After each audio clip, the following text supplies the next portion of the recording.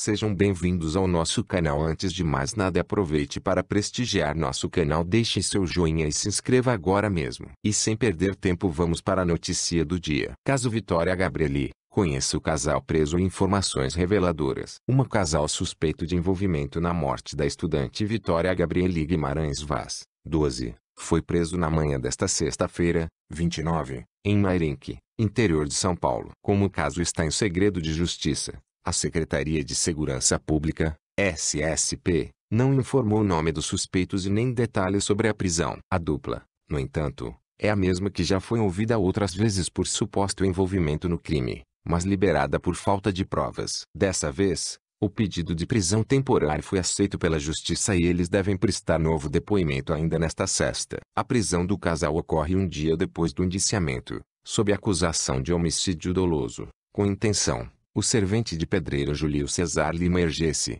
24, suspeito preso pela morte da estudante Vitória Gabrieli. E aí, o que você achou? Deixe seu comentário. Obrigado.